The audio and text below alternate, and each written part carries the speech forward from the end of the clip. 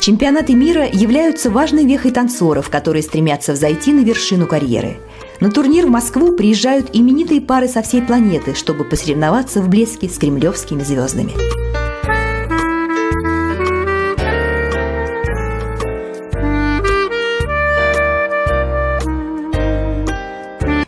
Михаил и Олеся Еремеевы представляют Сингапур. Они прилетели в российскую столицу за сутки до начала чемпионата – После долгого перелета приятно пройтись по древним улицам Москвы и насладиться ее культурой, ощутить ауру великих танцоров, которые прославили Россию на весь мир.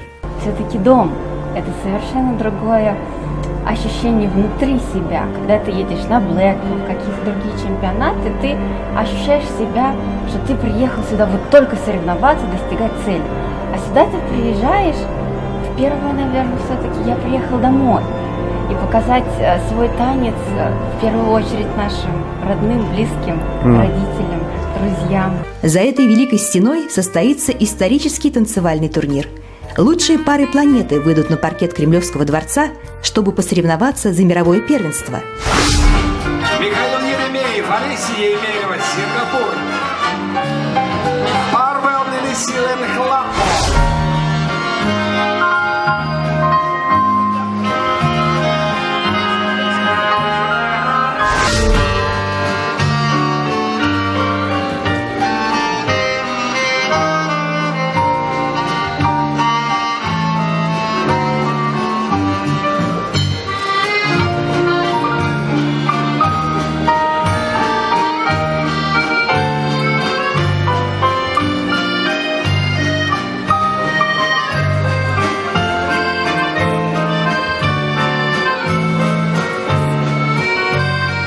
Россия издавна давала миру великие имена.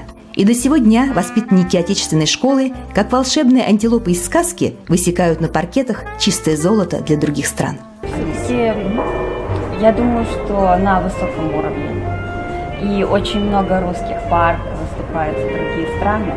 Порой бывает, откроешь программу, а там все русские фамилии. Только страны разные. Олеся и Михаил сделали первые танцевальные па в России. Отец был абсолютно против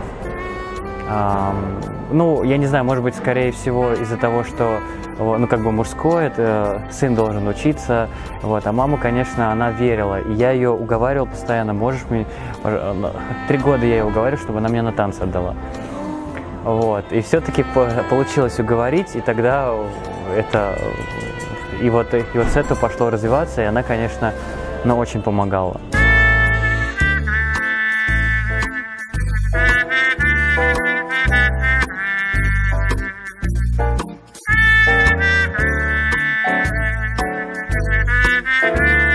Олеся начала танцевать, как только научилась ходить. Когда Олеся немножечко подросла, по-моему, годика, когда было три или четыре, мама ее отвезла в группу гармонического развития, так называемую. И там детям давали порисовать, давали там что-то, может быть, там поиграть, постучать, и в том числе какие-то базовые танцевальные движения.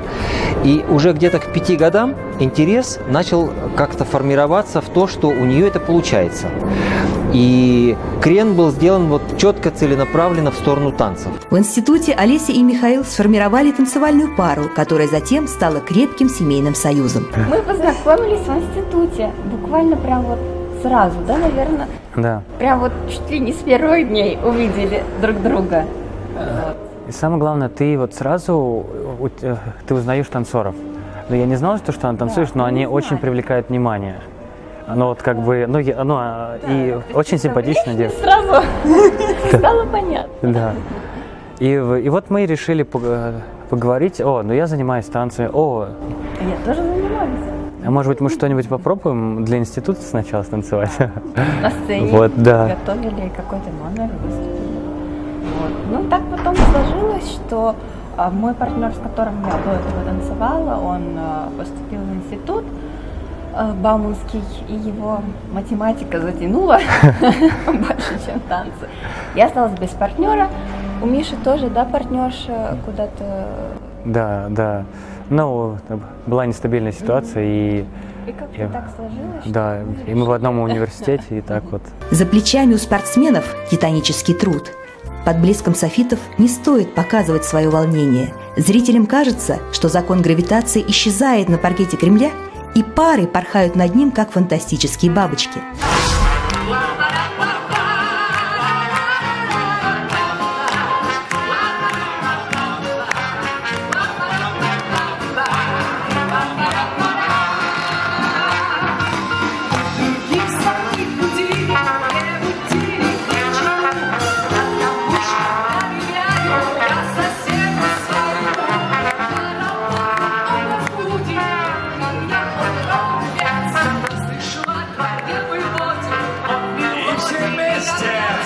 По мнению экспертов, на этом чемпионате мира Еремеевы были самой нежной парой.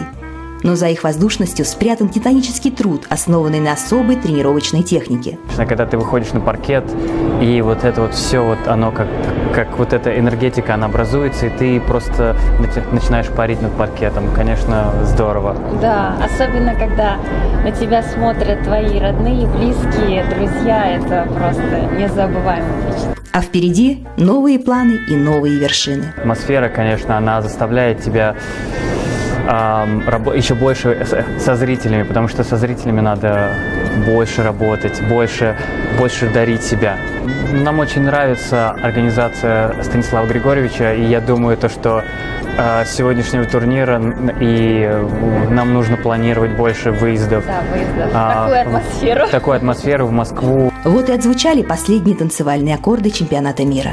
Кубки разъехались по разным странам. Но успокаиваться не стоит. Ведь кремлевские звезды еще долго будут сиять сильнейшим, которые своим искрометным мастерством заставляют всю вселенную кружиться в ритме вальса.